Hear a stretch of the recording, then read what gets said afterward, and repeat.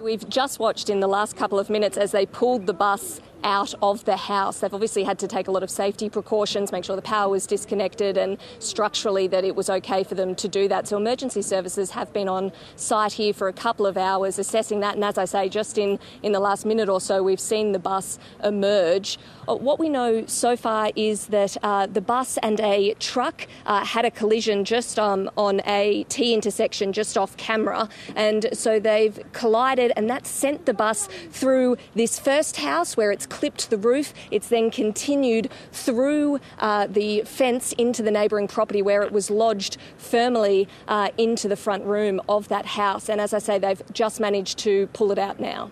So we know that the 44 year old who was driving the bus and a 17 year old passenger were both taken to hospital. We haven't had updates, but we do know they were taken with non life threatening uh, injuries, but they have been taken to a nearby hospital. There was uh, another passenger that was also treated at the scene who just had minor injuries. So fortunately, no one was in the house at the time. Uh, one of the owners has uh, come onto the, the scene uh, in the aftermath to, to see what's, what's happened. Here's a little of of what he had to say.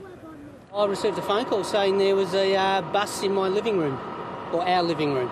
This is a beach house owned by my mother, and uh, myself and my sisters use it as a holiday house and a weekender. No, we can't enter the property until it's uh, been secured and, of course, the bus removed, and we're allowed to do so. So, very fortunate that no one was inside the property at the time. Obviously, the, the process of rebuilding and the investigation into the crash uh, will now begin.